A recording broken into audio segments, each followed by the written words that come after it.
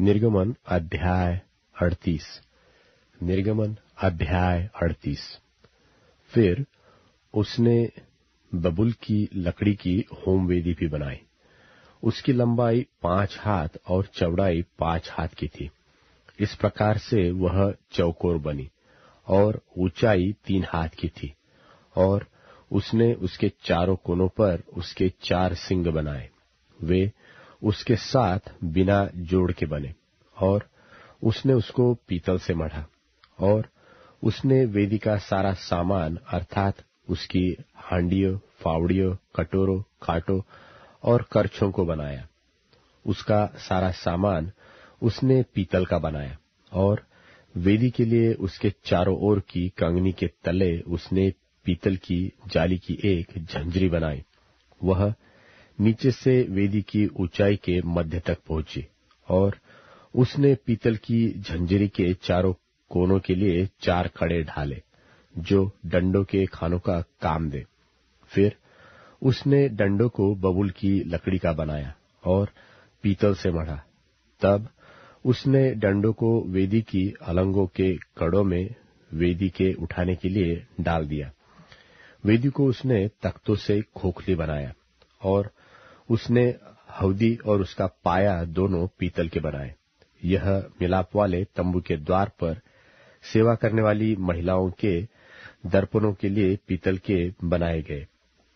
फिर उसने आँगन बनाया और दक्षिण अलंग के लिए आँगन के पर्दे, बटी हुई सूक्ष्म सनी के कपड़े के थे और सब मिलाकर सौ हाथ लंबे थे।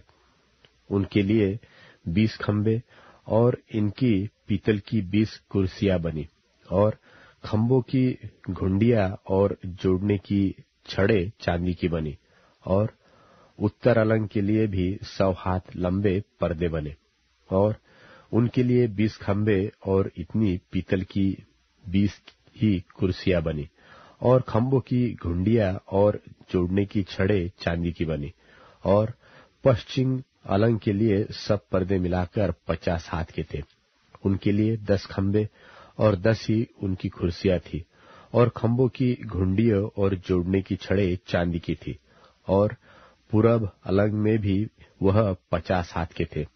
आँगन के द्वार के एक और के लिए पंद्रह हाथ के पर्दे और उनके लिए तीन खंबे और तीन कुर्सियाँ थी और आँगन के द्वार की दूसरी ओर भी वैसा ही बना था। और आँगन के दरवाजे के इधर और उधर पंद्रह पंद्रह हाथ के पर्दे बने थे और उनके लिए तीन तीन खंबे और तीन ही तीन इनकी कुर्सियाँ भी थी।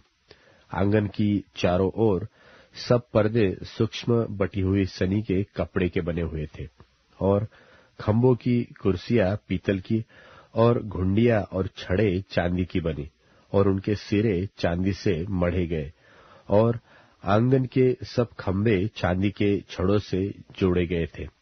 आँगन के द्वार के पर्दे पर वेल बूटे का काम किया हुआ था और वह नीले, बैंजनी और लाल रंग के कपड़ों का और सूक्ष्म बटी हुई सनी के कपड़े के बने थे और उसकी लंबाई बीस हाथ की थी और उसकी ऊंचाई आँगन की कनात की चौड़ाई के समान पाँच हाथ की बनी और उनके लिए चार खंबे और खंबों की चार ही कुर्सियाँ पीतल की बनी, उनकी घुंडिया चांदी की बनी, और उनके सिरे चांदी से मढ़े गए, और उनकी छड़े चांदी की बनी, और निवास और आँगन की चारों ओर के सब खुंटे पीतल के बने थे। साक्षी पत्र के निवास का सामान जो लेवियों की सेवकाई के लिए बना, और जिसकी गिनती हारून याजक के पुत्र इतामार के द्वारा मूसा के कहने से हुई थी, उसका वर्णन यह है। जिस जिस वस्तु के बनाने की आज्ञा यहोवा ने मूसा को दी थी, उसको यहूदा के गोत्र वाले बसलेल ने, जो हूर का पोता और उरी का पुत्र था, बना दिया। और उसके संग दान के गोत्र वाले अहिसामाक का पुत्र ओहोलिआब था। जो खोदने और काटने वाला और नीले बैंजनी और लाल रंग के और सूक्ष्म सनी के कपड़े में कारचोब करने वाला निपुण कारीगर था। पवित्र स्थान के सारे काम में जो भेंट का सोना लगा, वह उनतीस किक्कर और पवित्र स्थान के शेकेल के हिसाब से 703 शेकेल था और मंडली के गिने हुए लोगों की भेंट की चांदी सौ किक्कार और पवित्र स्थान के शेकेल के हिसाब से सत्रह सौ पचहत्तर शेकेल थी। अर्थात जितने बीस बरस के और उसके अधिक अवस्था के गिने गए थे, वे छह लाख तीन हज़ार साढ़े पाँच सौ पुरुष थे।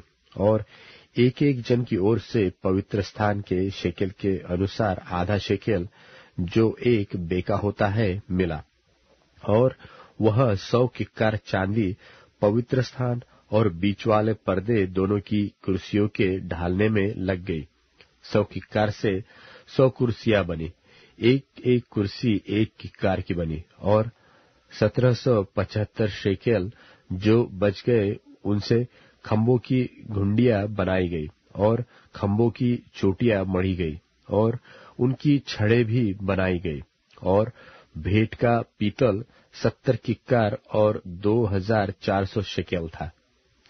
उससे मिलाप वाले तंबू के द्वार की कुर्सियाँ और पीतल की वेदी, पीतल की झांझरी और वेदी का सारा सामान और आँगन के चारों ओर की कुर्सियाँ और उसके द्वार की कुर्सियाँ और निवास और आँगन की चारों ओर के खुंटे भी बनाए गए।